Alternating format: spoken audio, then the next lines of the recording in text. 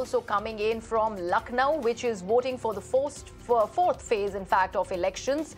Now, that election and voting is currently underway. In this phase, the polling will be taking place in 59 constituencies that are spread across nine districts.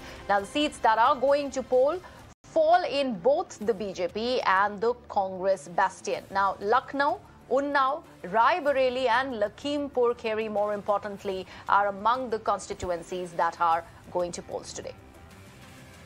Mirror now continues to bring you the pulse of urban voters, highlighting issues that are related to jobs, education, better infrastructure facilities. Remember, in this space, the now rape victim's mother is also in the fray. In this election uh, from Congress ticket in the last elections, BJP had backed 51 out of 59 seats in Uttar Pradesh.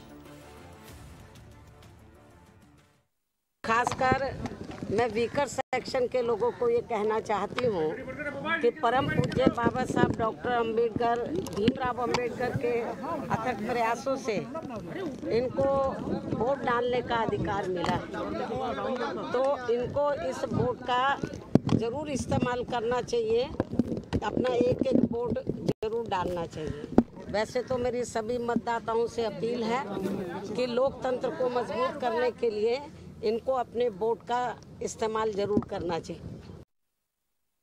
पिछली सरकार और जो नई सरकार बनेगी अगर कहा जाए जिसकी भी बने क्या आशाएँ रहेंगी मेन फोकस डेवलपमेंट पे है।